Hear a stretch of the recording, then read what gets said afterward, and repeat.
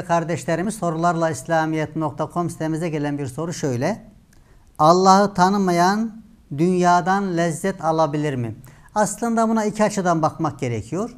Bir, Allah'a iman ettiği halde Allah hakiki olarak tanımayan, hakiki imanı elde etmeyen insanlar için. İkincisi Allah'a inanmayan insanlar için. Dolayısıyla bu mümin ve Müslümanlar için de geçerli bir durum. Allah'ı inkar eden kafirler için de geçerli bir durum. Acaba Allah'ı hakiki tanımayan insanlar dünyadan lezzet alabilirler mi? Hakiki olarak Allah'ı tanımayan insanlar hakiki olarak dünyadan saadet ve mutluluk almaları mümkün değil. Çünkü kainatı hakiki tanımanın ve kainattaki olayların gerçek yüzünü göstermenin yolu iman nurudur. Eğer bir müminde iman nuru olduğu halde o iman nurunu günahlarla kapatmış ve kainata güzel bakmaya engel olmuşsa o zaman o iman nurla kainatı göremeyecek, seyredemeyecek. Nasıl ki bir insanın gözlükleri siyah olsa her şeyi siyah görecek. Bakın gözlüğün siyah olması her şeyi siyah göstermeye sebebiyet veriyor. Onun için bir müminde iman olsa bile eğer gerçekten hakiki saadeti ve mutluluğu yakalayamadıysa onun nedeni kainata bakışını güzelleştiremediğinden ve Allah'ı gerçek manada tanımadığından kaynaklanıyor.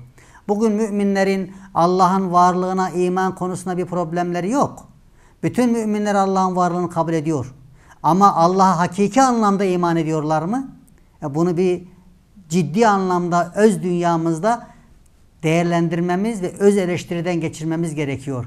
Mesela bir tane örnek verelim. Hadi inanmayan insanlar için tamam. İnanmayan bir insan toprağa sevdiklerini yutan, yok eden, çürüten bir yer olarak bakıyor. Tamam. Ahirete inanmayan bir insanın bu bakışı kendi açısından öyledir. Çünkü iman etmemiş. Ama bir mümin Allah'a ve ahirete iman eden bir mümin hakiki iman elde etmişse toprağa nasıl bakacak? Benim sevdiklerimi daha önce vefat etmiş sevdiklerimin bulunduğu yere götüren bir tünel. Tabutu nasıl görecek? Bir füze, bir uçak gibi görecek. Yani sevdiklerimi daha önce başta Peygamberimiz Aleyhisselatü Vesselam olmak üzere bütün peygamberlerin bulunduğu kabir dünyasına, berzah alemine göç etmiş sevdiklerimin yanına gidiyor. Kardeşim bizden onlara selam söyle. Allah yolunu açık eylesin. Güle güle git. Daha güzel bir yere gidiyorsun. Uğurlar olsun diye uğurlayacaktır. Yolcu edecektir. Ama şimdi bir mümin en sevdiği birisini vefat ettiğinde böyle mi değerlendiriyor? Eğer böyle değerlendiremiyorsa demek ki hakiki imanı elde edememiştir. O zaman hakiki imanı elde edemeyen bir adam elbette ölüme, kabire böyle bakamayacak. Dostlarından ayrılık, sevdiklerini toprağa gömdü. Artık bir daha göremeyecekmiş gibi, görüşemeyecekmiş haşa böyle bir duyguya kapılırsa elbette ölümden zevk alamayacaktır. Ama öbür türlü dünya meşakkati bitti. Dünya sıkıntısı sona erdi. İmtihan, deneme, tecrübe, okul bitti. Askerlik son. Babamızın memleketi olan cennete sevk ediliyoruz. Sevdiklerimizin yanına gidiyor. Artık orada deneme, imtihan, tecrübe, askerlik yok. Paydos. Evet. Hizmet bitti. Ücret almaya gidiyor. Bakın adama lezzet veriyor. Biz de inşallah kardeşim yakın bir zamanda sizin yanınıza geleceğiz. Peygamberimiz kabristana girdiğinde öyle selam vermiyor muydu? Esselamu aleyküm ya ehlel kubur.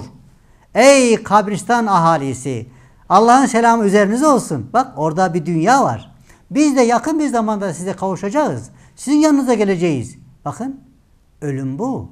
Nasıl ki bir insan askerlik bitince hadi babanın memleketine derken zevk ve lezzet alıyor. O halde hakiki imanı elde eden adam Allah'a gerçek anlamda tanıyan bir adam ne diyecekti?